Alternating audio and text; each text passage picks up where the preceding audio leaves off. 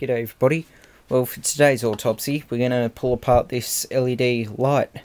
It is 6 watts, 230 volt AC, 50 hertz, 2700K, whatever that is, E14.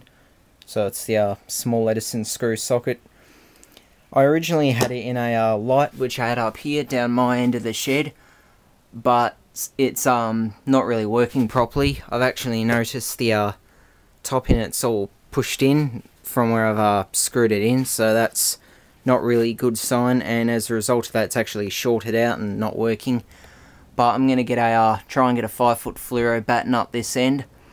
I know the um one of my favourite junk shops is actually selling quite a few at the moment, so it might be a uh, trip down there to see if I can pick one up and I'm just going to wire it in parallel with the one that's up here, that one there, just run the a uh, conduit with the cabling for it and do it that way, but I might do another video on that depending on whether I get time, because school's almost about to start up, so you never know, I may not be able to get time to do it, but anyway, for now, let's just pull this apart and actually see what's inside an LED lamp.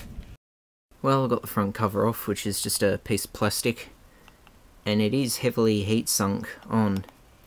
As I um, I'm guessing there's probably a heatsink up inside here, and yeah, there's some more of that nasty beryllium oxide compound, which I'm going to have to scrape off it before I go any further. But yeah, there's the um the actual LED arrangement there. It's not really much to it.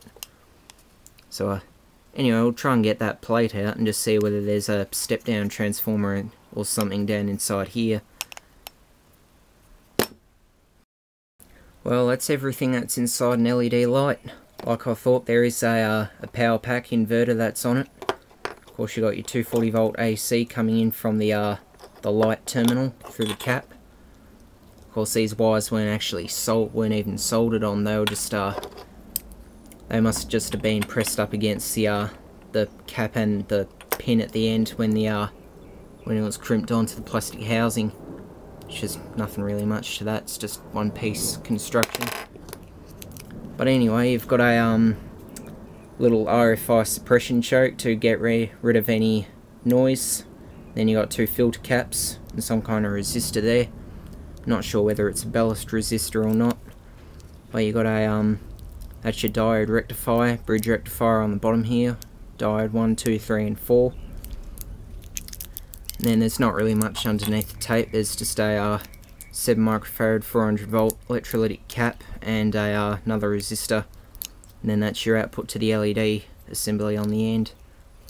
And like I thought, it is heavily heat sunk, obviously, because this thing must get pretty hot when it's running. Although a lot of the other, the ones that are made for halogens and things, like the GU10s, the uh, the metal housing that they just put all of this in is the heat sink. It's not like this, which has got a plastic covering on it. But I might keep that in the heatsink and see if I can actually run that off a battery or something. Because this thing did chuck out quite a bit of light when it was working.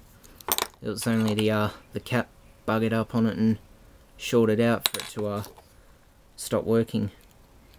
But, uh, yeah, anyway, that's um that's what's inside an LED light. There's really not much to them.